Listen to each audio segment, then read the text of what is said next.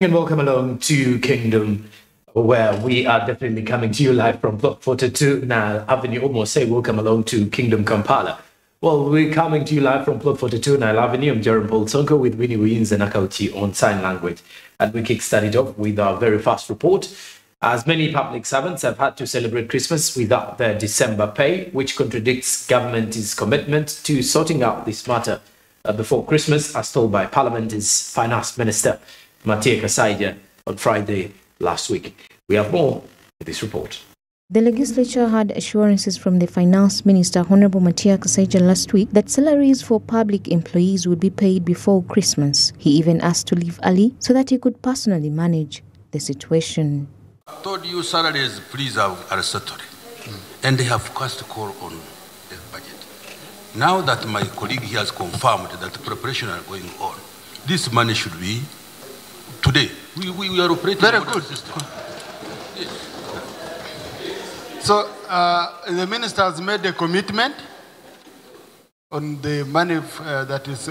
I want us to conclude so that he goes to ensure that his commitment is implemented. Yes. However, according to our anonymous source, this was not taken into consideration and nothing was added to their accounts. As a result, they were forced to spend the festive period without money to celebrate with their families.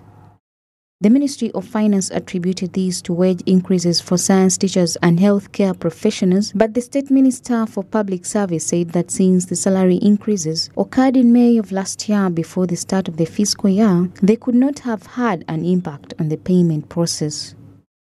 And the financial year started um, in July, on the 1st of July. And by that time, that report was already overtaken because the salaries were increased for, for all scientists across board.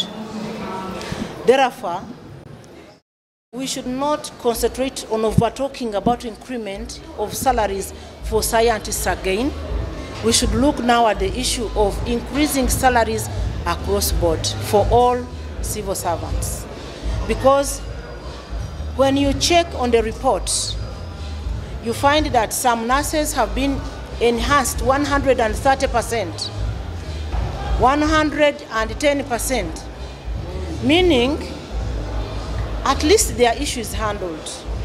Silas Aogon, a Kumi municipality member of parliament, wants the government to treat the issue of salaries seriously if it is to retain skilled labor, particularly in the health sector. is what keeps your labor moving as a country.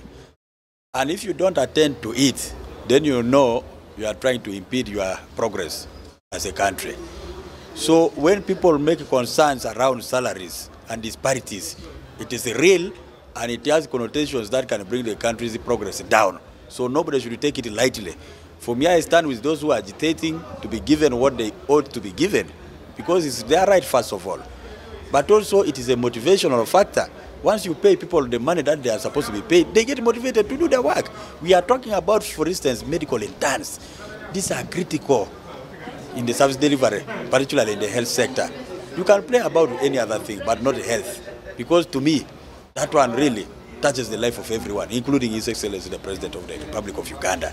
The legislator also suggests that government should look into the issue of civil servant compensation inequalities because they have noticed that certain civil workers receive excessive salaries compared to others who perform the same task, which is unfair. about the civil service, the public service. You find in this entity somebody is getting bigger money. In the other entity, there are times when we used to hear that KCCA, if you were working with the KCCA, you'd be getting a lot of money. A driver would be earning money that somebody is leading another organization within government. You can imagine that kind of thing. So what causes this? As long as people are getting money from the consolidated fund, there has to be a proper mechanism of making sure that those who are having the same kind of qualification earn the same kind of uh, money. Those who do the same kind of work earn the same amount of money. In her speech to the legislature, Honorable Namugga Goretti warned MPs that the administration has long neglected the fact that majority of civil officials lack motivation, which results in poor performance. Look at the institutions of government. For now, I'm still resisting that temptation. But if you continue, I will go that line. And I know how tough that line can be. You went, you reduced salaries of police officers. Someone who has been earning a salary for 10 years. You come from nowhere and you say, this is not your salary. Okay? Yes. Then you have people. Uh, I saw the letter from the, uh, from the permanent secretary, Minister of Public Service. If you people don't want Parliament to do its work, it's unfortunate. The issue of delaying salaries for public servants is not something new. It has been happening for many years, and lawmakers think the problem arises from the Ministry of Public Service, which they call a place of organized chaos that needs to be restructured. Samla Hanifa, Smart 24 TV, Business Today. Now let's look at the East African community and the youth innovation. In order to promote youth innovations in the East African community and address the challenge of youth poverty by creating employment in accordance with the East African Community Vision 2050, the East African Youth Forum has called for more funding to invest in agriculture, technology, amongst the other things. Samuel Kirimunda compiled this report. Youth Ambassador for Kenya, Wairimu Manyara, called for more support for young innovators to address the issue of jobless in the community while speaking to journalists at the East African Youth Forum. Although 70% of the East African community is young, unemployment is a significant challenge in the community every innovation you sponsor, right? That's a business you've been able to sponsor. For every business you sponsor, that's five, for example, you create employment for five more youth out there or for 10 more youth out there. So why it's important for us to focus on this from a bottom-up approach is that as opposed to focusing on just getting people jobs, you create or you give one youth the capacity to start a business. They're able to start or create employment for 20 more youth within the region in itself. And I think it's also important within the EAC context because I can be able to trade goods from Kenya to Uganda, for example, through the East African community. So even the more we develop this regionally as opposed to nationally, we open our access to markets for youth innovations. So we also don't necessarily end up competing just in Kenyan borders and then we fluctuate our markets with the same products when there's access to markets all over the region. The regional coordinator for East Africa Community Youth Network Jack Tusiime additionally added that government of Uganda should coordinate with ICT framework in the area to guarantee that the cost of data used for communication, such as Facebook and other platforms, should be reduced. So when you talk about unlocking the youth potential, you're talking about unlocking the whole of East African community because the youth are the majority. And when they improve and they invest in technology, we'll solve as many problems as possible. This uh, event is focusing on uh, six pillars. We are talking about uh, innovation in energy, innovation in ICT, innovation in agriculture, innovation in health, and uh, we are focusing also on the climate change. And uh, those are the issues that we are grappling with as the East African co community, the seven partner states. And we are saying that when we invest in, um, for example, agriculture, where we have the comparative advantage, we are going to create very many jobs where young people face challenges of unemployment. If we invest in uh, climate change, we are going to sort the challenges that we are seeing in climate change. And uh, we want to put the young people at the forefront of this because we believe that we, the EAC has a vision 2050. And this vision 2050 will be achieved if young people are put at the forefront. The internet connectivity in the EAC is at one out of five. You can imagine 20% of the East Africans are the one, only ones who are accessing internet. So how are you going to improve ICT and innovation if people are still not uh, using uh, uh, technology? Another thing is the issue of data. If you look at the region among the regional economic blocks, the EAC has the highest data uh, prices. You can look at Uganda, for example we still have an issue of Facebook, which the president even, uh, I don't know what happened. So we need to ensure that we bring data prices down to ensure that we promote innovation. That is one. Two, we must ensure that we harmonize the ICT and the STI uh, frameworks in the region. The Permanent Secretary for East African Community Affairs, Edith Mwanje, disclosed that there are specific procedures that must be followed where the Council of Ministers make policies decisions together with coordinating committees to achieve and handle the difficulties in the community. We have a Council of Ministers that takes policy decisions. We have a summit of heads of state that makes uh, gives direction and impetus on the direction we should be moving. But we also have a, a meeting of uh, permanent secretaries, which is called the coordination committee, and then technical meetings. So those ones that take decisions, research is done at the technical level, it's pushed up until uh, the council makes policy, and then advises the, the heads of state. And then also we have, of course, the EAC Secretariat. So it's, it's a lot. We have arrangements, we have the court, we have the EALA, all those help us to achieve, uh, to form actually, to achieve what we want to achieve. The community's most valuable resource is its human capital, which includes the full mobilization and effective participation of all East Africans, including men, women, and the youth for social and national advancement. Youth should receive proportionate recognition and engagement in all national and regional development efforts because they make up the largest population group in the East African community. In order to create a legally binding framework for the efficient implementation, monitoring, and evaluation of youth programs and initiatives, the Sectoral Council's recommendations led to the adoption of the East African Community Youth Policy in August 2013. Andrew Barije, Samuel Kirimunda, Smart 24, Business Today. And now we talk matters micro, small and medium-sized enterprises. As the micro, small and medium-sized enterprises are the engine of growth for the economic development of Uganda, well, indeed, when you look at the world at large, it is also a very uh, fundamental sector. They are spread across all sectors with 49% in the service sector, 33% in commerce and trade, 10% in manufacturing, and 8% in the others. Now, despite the sector's enormous size and contribution to Uganda's economy, it has faced various challenges that have hindered economic growth. We have more in this report. There is insufficient policy framework to effectively realize the entire growth potential of MSMEs to economic development. A variety of initiatives have been developed by the government, development parties, and the private sector to support and expand the MSME sector. But these efforts have been mostly dispersed, uncoordinated, conflicting, and isolated. And I think that the government should look into this. I mean, for God's sake, was this, is this the best time to increase the interest rates? Is it, that, doesn't that uh, maybe, isn't it a, a, a, negative progress towards the increasing aggregate demand? Because we still had a challenge of uh, a low aggregate demand. Now, certain policies, I think, must be discussed in a view of not only the fiscal policy, but also in a view of business, business development. I think the best idea would be is that when passing certain policies, the business, the business community must be involved so that we know the implications of certain policies, be it fiscal or any other. What will be the implication on the business community?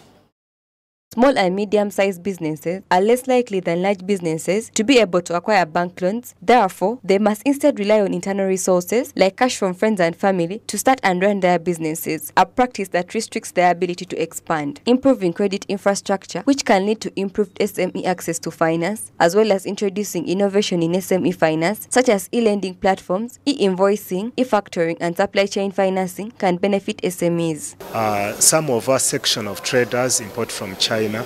For the last three years, China is closed, so they cannot access their goods. That is one. And also uh, the, the, the, the, small, small traders who left shops and then they went into working. They're also facing it hard on the streets. They can't conduct their businesses here. So the money is dwindling every day.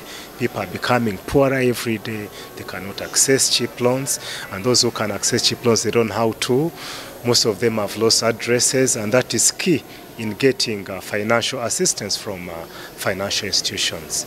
The International Finance Corporation estimates that 65 million businesses, or 40% of former micro, small, and medium sized enterprises in developing countries, have annual financing needs of 5.2 trillion US dollars, or 1.4 times the level of global MSMEs lending, which are all unfulfilled. In consultation with sector players, the government is in collaboration with SME support organizations to harmonize all these present policy issues. Martha Nimsima, Smart 24 TV, Business Today. All right, now let's talk. March is the aftermath of the Christmas celebrations. In the wake of Christmas, retailers in Kampala's downtown and uptown areas are still reporting low business sales. Uh, this is not what they anticipated for this particular time this year, apparently. But this year's holiday season has seen a reduction in sales, which was first seen on the eve of the season. Ronia Katusime reports.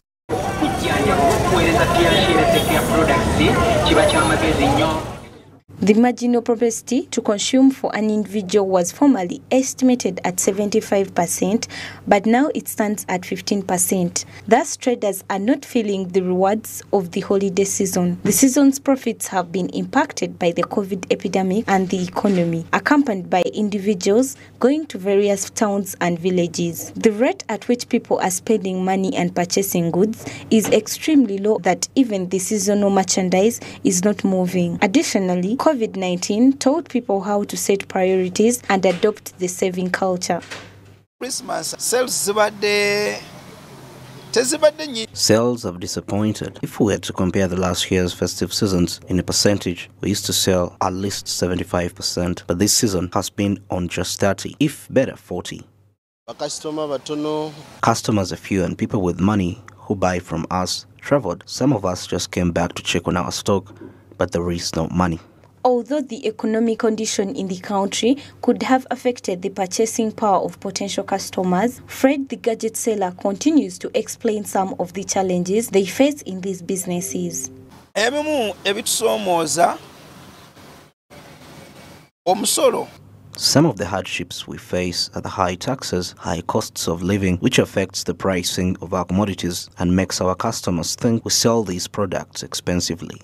Women and young people are the biggest spenders not just during the holiday season, but also because of their enjoyment of new fashion trends. Although the nation's economic situation may have had an impact on potential customers' spending power, we should remain confident that sales will increase in the days to come as we approach a new year. Bronya Katsime, Smart 24 TV, Business Today.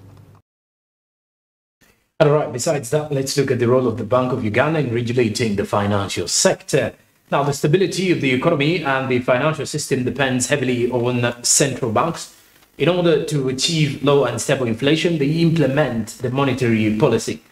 Following the global financial crisis, central banks have added more tools to their arsenals to address threats to financial stability and control fluctuating exchange rates. We have more in this report.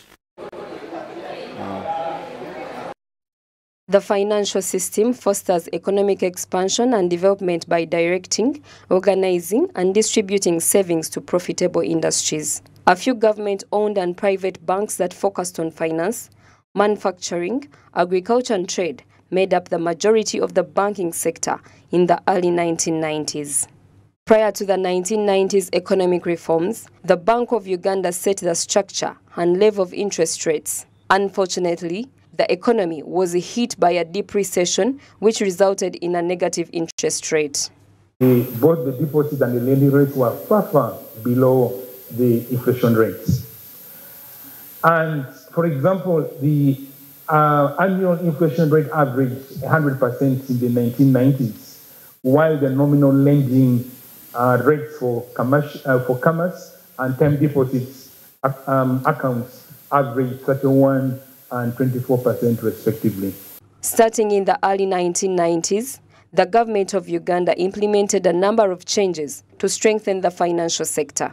These reforms included strengthening monetary policy, enhancing resource mobilization, and fostering competition in financial markets, among others. So these interventions covered three main areas.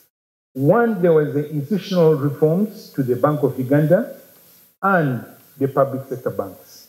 And then two, There were legislative changes to the banking laws and the Bank of Uganda Act.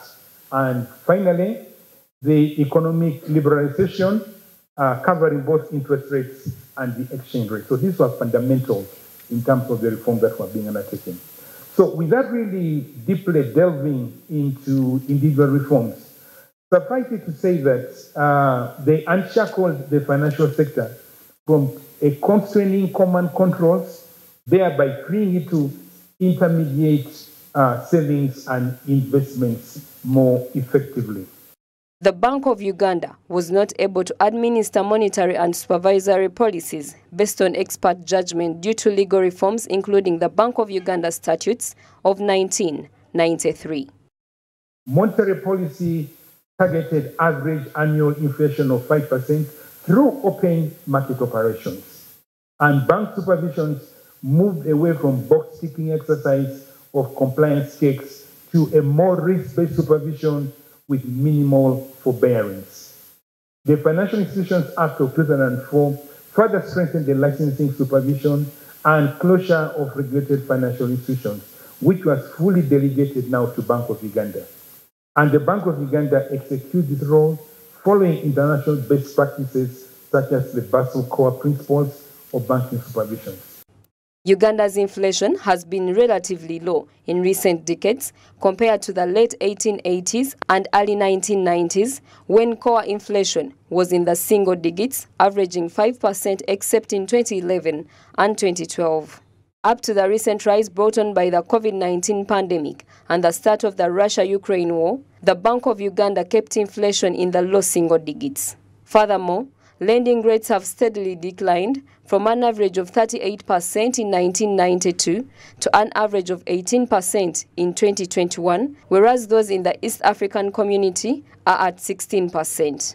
For context, the annual headline inflation and core inflation rose to 10.6 and 8.8 in November 2022, up from 2.7 and 2.3 in January of 2022.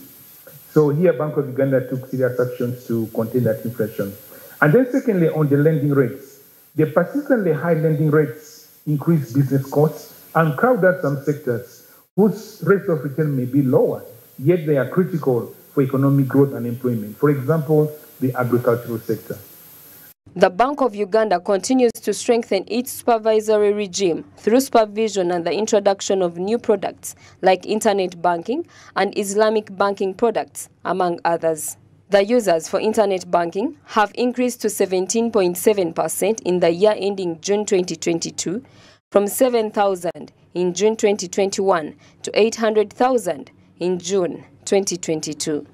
New products have emerged, including bancassurance, mobile banking, internet banking, increased card payments, and Islamic banking products are imminent, among others. In the year ending June 2022, the number of active users of internet banking increased by 17.7% from um, 700,000 in June 2021 to 800,000 in June 2022. Interbank banking, I mean interbank transactions more than doubled reflecting a 225% growth from 1.2 million transactions to 3.9 million transactions over the same period, while transaction volumes nearly doubled from 13.4 trillion to uh, 24.5 trillion shillings. In an effort to lower the cost of digital transactions, the Bank of Uganda and the Uganda Revenue Authority have called for more public and private sector regulations. They argue that the expenses associated with mobile banking, mobile money, and other digital or electronic transactions are now too expensive and are impeding to development of financial inclusion in the nation. According to Mike Atingi-Ego, the Deputy Governor, Bank of Uganda, the poor are more negatively impacted by mobile money transaction charges because small transaction movers control the platforms. There are several barriers that remain Key among them are the high transaction costs. On net, mobile money transactions cost between 30 shillings to 1,250 for sending and 330 to 20,000 for withdrawing. And Uganda shillings 160 to 6,300 for payment of utilities inclusive of taxes. Interoperability costs range from 330 to 20,000 shillings. Furthermore, the charges are regressive, with the vulnerable poor who constitute the majority of users by transaction account bearing the heaviest burden. Statistics indicate that approximately 90% of the mobile money transactions are in the low value of under 50,000. So you can imagine that the tax burden is hitting the poor. So I hope, Chris, this message is sinking in. According to him, while there has been good progress in financial inclusion courtesy of mobile financial services, the cost regime is unfair to the poor, who also contribute most of the tax revenues from the sector. Financial inclusion as a result of the above is now standing at 66% compared to 59% in 2017, with mobile money as a key driver. The report showed that mobile money services increased uh, the value remittances by 36% and was associated with 13% increase in per capita consumption. However, the same report indicated that 41% of the Ugandans could not access financial services due to the distances involved in reaching access points. The cost of moving money from one platform to another, which varies from provider to provider, is one of the factors contributing to the high costs of mobile transactions. The National Payment Systems Act has increased the number of service providers over the past one and a half years, although this has not yet resulted in a significant decrease in costs. The national payment switch, according to the Deputy Governor, will lower transaction costs between networks once it's operational. We've had a number of consultations with this, the key stakeholders uh, of this national payment switch the payment system providers, the banker, the development partners. We've had significant discussions with them to understand better that what kind of switch, payment switch does, does Uganda require, given our systems here, what type of switch do we require? So we have had the discussions, and as a result, the discussions have culminated into what we call the business and the technical requirements for this business switch. The countrywide switch will assist in monitoring transactions as they happen and allow Uganda Revenue Authority to immediately tax them, according to Moses Kaggwa, the Director of Economic Affairs at the Ministry of Finance. This, along with the anticipated decrease in the cost of transferring money, will, in his perspective, result in an increase in revenue collections. At least you get those transactions on the system and you can see the transactions that are flowing. If they are business transactions, at least you will get to know that uh, one business has uh, received money from another business, or somebody has sent money to a business through this uh, system. Now, what has been happening is that the companies, the fintech companies, uh, the companies under Airtel and um, MTN, have their own systems, which have been expensive. So the cost of uh, remitting this money has been high. But if we have a national payment system, that would mean that the charges are going to be low. Even with the increased digitization and how it is assisting in revenue collecting, John Musinguzi, the URA Commissioner General, stated that a sizable portion of the economy, the informal sector, continues to be the most difficult to tax mostly due to lack of records. According to him, this means that although they are significant economic contributors, they cannot be tracked. It will help us have better visibility of financial flows and therefore of incomes where money is being made. And that will give us an advantage or clear information on how to tax them. It is important to digitize money and the flow of incomes. That way, it leaves a trail, and that trail helps the tax administrators to effectively assess and tax those transactions without any guesswork. Naomi Mtumba, Smart 24 TV.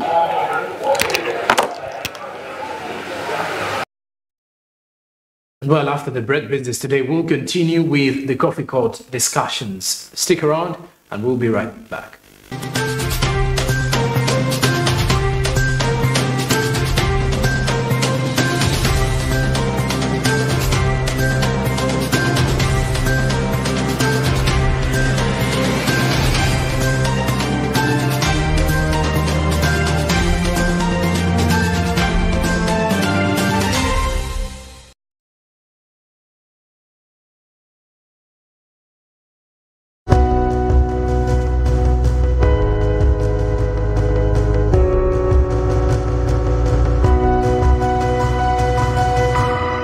24, driving business.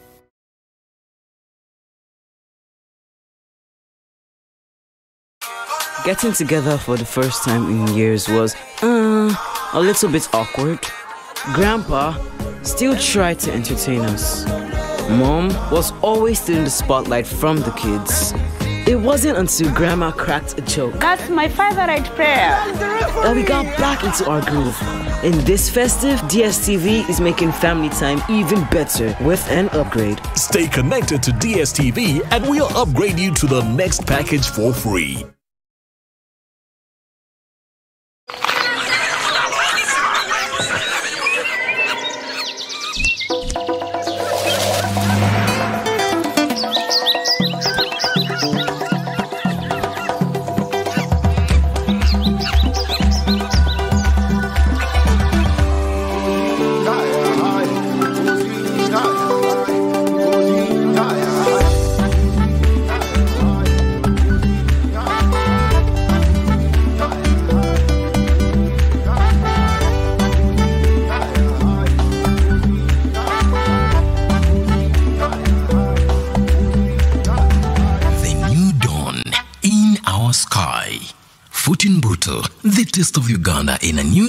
New international park.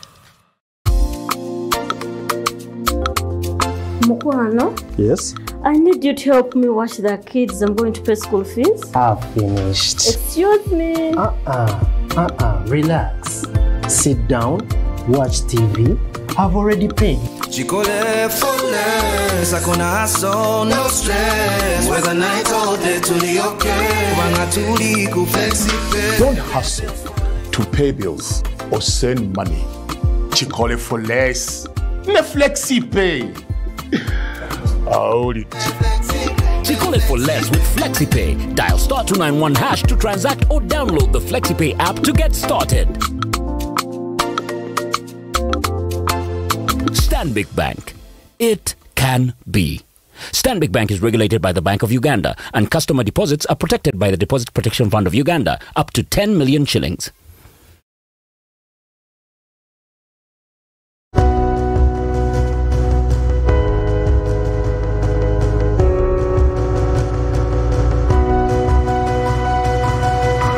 Smart 24, driving business.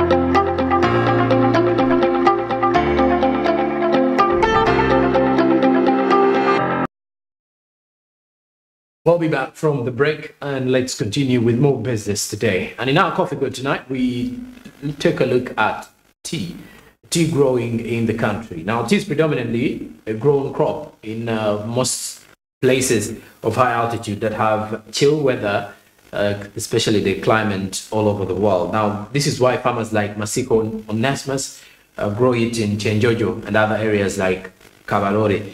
Now, annually, Uganda earns about 84 million US dollars, and tea is one of the country's traditional exports. We get to discuss more about Uganda's tea growth in tonight's Coffee Court.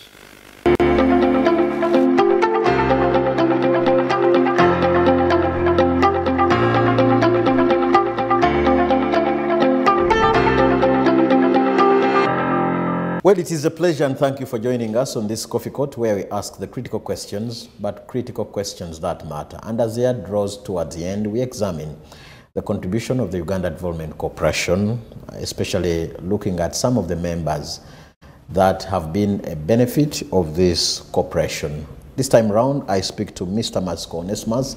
He is an agronomist, but is also the manager of Mabale growers when it comes to issues of tea growing. We examine the contribution of tea growing and the impact of UDC on their performance. Mr. Masiko Onesmus, it's a pleasure and thank you for joining us. Thank you very much. You are an expert in the tea growing, but let's first and foremost talk about uh, UDC, where you have moved, how and how you've moved with it. Thank you very much. UDC has two phases in its contribution to this economy. the first phase was before independence, where most of the government-owned businesses were under the docket of UDC. So talking about 1960s. Bef- before 1960s. Oh. Um, the history of tea, I can't divorce any talk from tea. Tea in Uganda was predominantly a plantation, large-scale plantation crop, 1930s, 40s, 50s. Ugandans were not in, deep into tea growing, and the largest tea plantation company today was set up by Uganda Development Corporation in the 1950s. That's how old UDC dates back into our industry. And then 1960s, when Uganda decided, after independence, when we decided to popularize tea growing among Ugandans in smallholder mode, again, a corporation was set up to promote tea growing among smallholder farmers. That was called Uganda Tea Growers Corporation. And again, that was a subsidiary of Uganda Development Corporation. So when, when we privatized as a country strategically, most of these companies were sold to investors and the, the plantations were sold to foreign direct investors, while the factories, tea factories serving smallholder farmers were sold to farmers themselves. And then government went out. Then the current UDC, I'm not an expert on UDC's history, but UDC was reconstituted and then as a parental role, government of Uganda, through UDC again, has recently brought in a supportive hand into especially the smallholder owned tea factory companies. So UDC in the tea subsector in Uganda dates back before 1960s all through to the present. Well, among the projects that Uganda Development Corporation supports are farmers that take their time to grow matters of tea. And I want to be exact. I've read statistics and I want to be exact on this. 40% of you of the tea that we consume. I want to pick the truth about that from you. 40% of Uganda's tea comes from the Toro sub-region. Sure. And um, the sub-region has two major segments. Plantations, I will tell you that the biggest tea plantations are located in the Toro sub-region. These are plantations owned by the Mukwano Group. These are plantations owned by McLeod Russel Group, which is the largest tea plantation company in the world, based in India, but it has plantations in Uganda again. These are plantations owned by Toro and Mityana Tea Company, which originally was under Mitchell Cotts. So Toro sub-region, a combination of plantation tea companies and smallholder farmers contribute 40% of Uganda's tea production. I have also read that it is the second most consumed in the whole world. Is this also true statistics? You see, God created the most important things most affordable. So, for example, air is the most important and it's totally free. Number two is water, and it's almost free. So, I want to imagine that tea is the third most important item in life. So, God made it affordable, and tea is the second most consumed beverage on earth. After water, is also the second most affordable. And then uh, I, I, have also read, and I need to be sure that it's the third largest foreign agriculture exchange earner. How true is also this, Mr. Nesmas? You will recall the three C's and three T's, which made the skeleton of our economy from the historical times. Tea is one of them. So from historical times until present, tea contributes um, lies in the third position on foreign exchange earnings from agricultural exports, number one being coffee, number two being fish. Fish has just appreciated, but still used to be the second after coffee. So once a while, maize comes up and then comes down, but tea is consistently in the top export foreign exchange earners for this country. And now that takes us to how many people grow the tea that you seem to be very passionate about in Uganda? We have what we can be very certain about is the acreage. 45,000 hectares of tea is grown by Uganda by Ministry of Agriculture um, estimates of 2018. And between that, around 30,000 hectares are in the hands of smallholder farmers who are estimated to around 30 to 40,000, but employs tea as a subsector, tea growing, employs about 80,000 directly, direct employees, but up to around 1 million people in Uganda derive their livelihood directly from the tea value chain. Okay. About 1 million Ugandans have their li- livelihood controlled by this value chain. So do we all, do we consume all the tea that we grow Incidentally, as a no. country? Incidentally, no. uh, I don't want to call it unfortunately or what, but incidentally, more than 90% of Uganda's tea is exported. Our major tea consuming countries is the Arab world. Our colonial masters, the, the British, the Europeans, British specifically have a strong tea drinking culture, but the bulk of our tea goes to the Arab world. Number one consumer of East African tea, and probably we shall come in later when I expand to own up as East Africa. The Arab world, Pakistan is the largest importer of tea from East Africa, followed by Egypt. And all these other Arab countries are our major. We have a, a, a growing market in our immediate neighborhood, Southern Sudan and Democratic Republic of Congo, except that Congo we are constrained by infrastructure and security, but this is a very big potential closed door, uh, a close neighbor customer for Uganda's tea. And now that you've talked about the challenges that you're going through, that will drive me straight to the contribution of Uganda Development Corporation. I know it's one of the key sectors that it has invested a lot of money. Let, let me now con- make a connection between the tea growing and then the contribution of UDC. Have you really felt their contribution? I've said Uganda Development Corporation's contribution is very historical all the way up to present. UDC is the one which set up large-scale plantations. UDC is the one which set up smallholder serving tea factories. And after privatization, and uh, right now, UDC is the one which supported construction of tea factories in new tea growing areas. You may recall that it is in the recent years that we introduced tea in Kisoro and in Kabale. We have introduced tea in Ntungamo, in Rwampara, in Sheema, in Zombo now.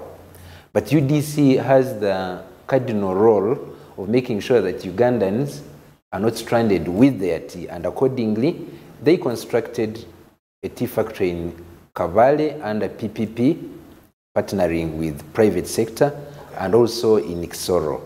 Now, for smallholder-owned tea factories, I told you these were set up by UDC in 1960s, and they were privatized.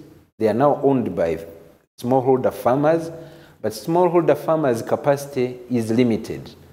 They were about to be swallowed by the unregulated environment, but government still came in to come and, and support the industry. Not just one player, because when one, one factory is weak, that is the main destination of farmers' produce, then the whole industry would basically collapse. So recently, Uganda Development Corporation decided to recapitalize Mabale Growers Tea Factory Limited. And this is a factory serving 2,300 shareholder farmers, not only as farmers, but also as a destination for those farmers' production. So do they give out cash? Do they just come with maybe, what, exactly do they do? The way the value chain operates is that for smallholder tea farming, a farmer takes charge of his garden, then a factory buys from a farmer. The farmer can deliver to the factory, or if a farmer is too small, the factory will deploy a truck which will aggregate collecting from many farmers and bring to the factory. So UDC's role is to make sure that this factory has capacity to serve the farmer in the most appropriate way. And the factory is capacitated to buy leaf from farmers at the most appropriate and equitable price prevailing in the green leaf tea marketing environment. Okay. Yeah. And what are these other major concerns that you think maybe UDC has not done? And given their aims and objectives, hopefully they need to come in and intervene and help in some of these other major challenges that probably the farmers are facing. There are three major challenges of the industry. One is the unbalanced processing capacity. You grow tea and you don't balance it with available processing factories. That's where UDC is coming in and other players are also allowed to come in. I will tell you, His Excellency the President has looked for us investors to contribute in this and to, to supplement what UDC is doing. That seems to be reasonably covered, that we are on course in uh, setting up new factories to cover the industry. What remains glaringly uncovered are two. One is product quality. We earn less than our neighboring Rwanda. I will tell you that Uganda last year earned less than half of what Rwanda earned. How much did we earn? We earned $84 million from 82 million kilograms.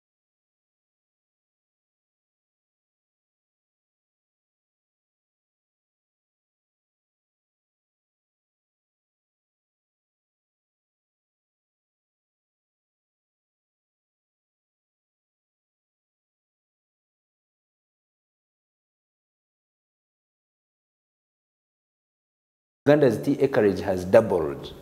From what to what? From around 23,000 hectares, which we planted in 100 years. And in the next 20 years, under the current government, that 23,000 hectares has doubled to 45 acreage. Okay. But what a farmer is getting from a unit, a unit of, of the garden, a hectare to be exact, a hectare should be giving us about four tons of processed tea in a year. Okay. 2021, Uganda averaged 1,800, 1.8 tons versus the potential of 4 tons. What is the main problem? Fertilizer. So we don't have enough fertilizer or the fertilizer that we have is not good enough to facilitate tea growing in Uganda? There are two things. The latest, the current, is a world order whereby the fertilizer prices have skyrocketed around the world. But even before then, our industry is not structured good enough to be able to afford a tea farmer fertilizer on credit. Who is to structure it? All of us. We, we what do you mean by all of us? Taxi of us drivers, vendors, and hawkers. When you say all of us, it, all means of us it is in the hands of, us, everybody. But uh, tea multi-stakeholders. We have key key stakeholders in tea.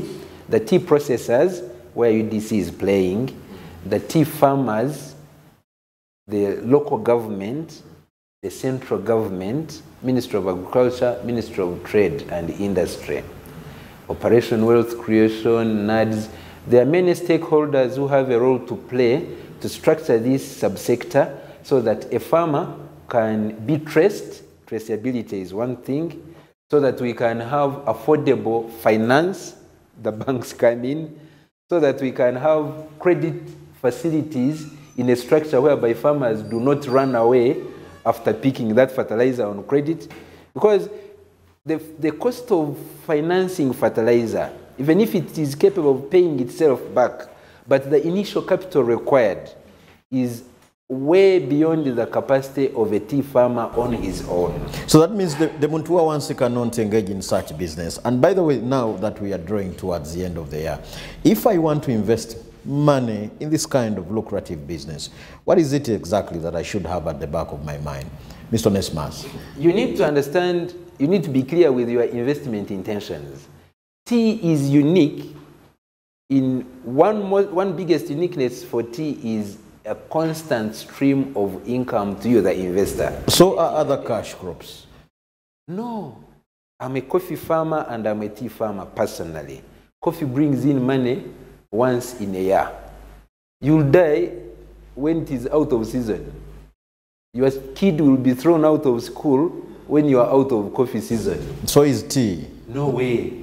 Tea is harvested every seven to ten days. You come back and harvest where you harvested.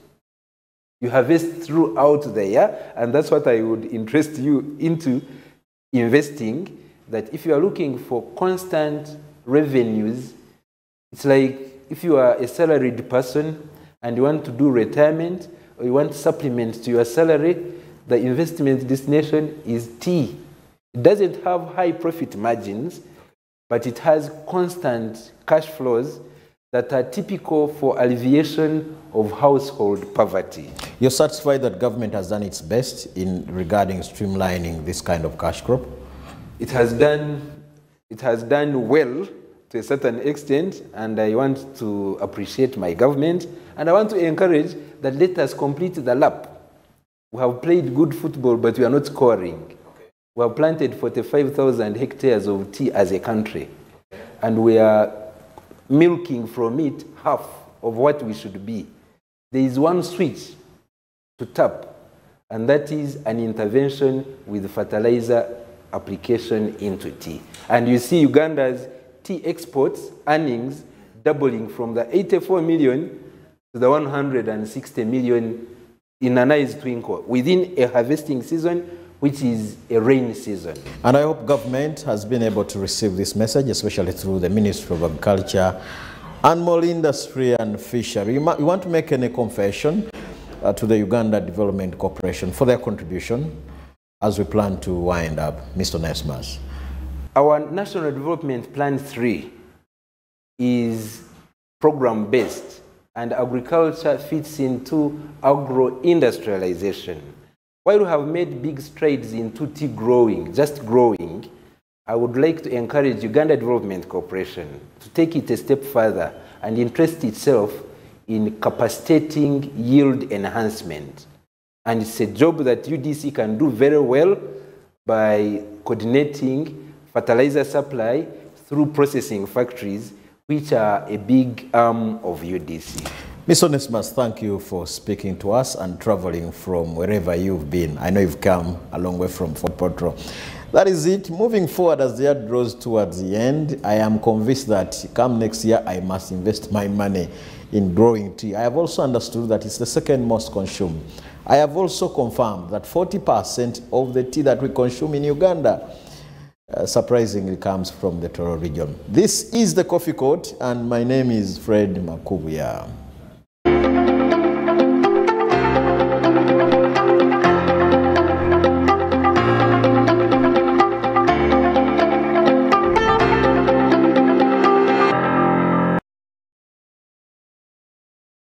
All right, and that is it for business today, and many thanks for being part of it tonight, wherever you've been catching us from. We've been coming to you live from Block 42, Nile Avenue. I'm Jorum Paul Sonko with Winnie Beans and Akauchi on sign language. Have a blessed night. Good evening.